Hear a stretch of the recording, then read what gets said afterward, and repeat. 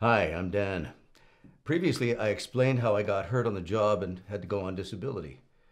My company laid me off three months later while I was still recovering. They said they were restructuring and had to cut some workers.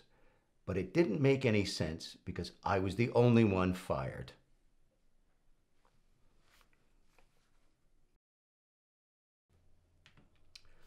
The CHRC said they were going to investigate, and the first step was to wait for my employer to write down their defense, basically, their side of the story. Once we receive your employer's defense, we will send it to you so that you have a chance to make what we call a rebuttal.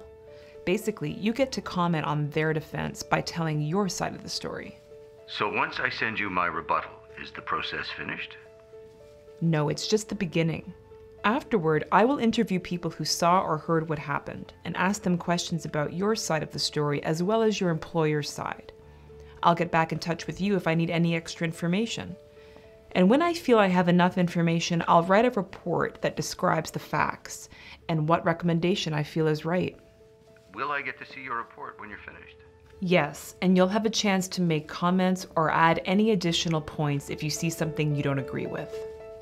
I was recently told that the Commission thinks that my complaint needs to be looked at more carefully.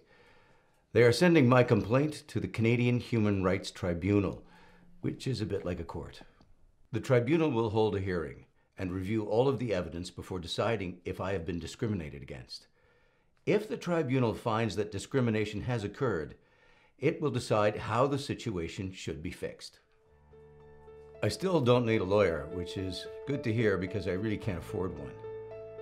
The tribunal's process will take time, but I'm willing to go through with it because this is something that is really important to me.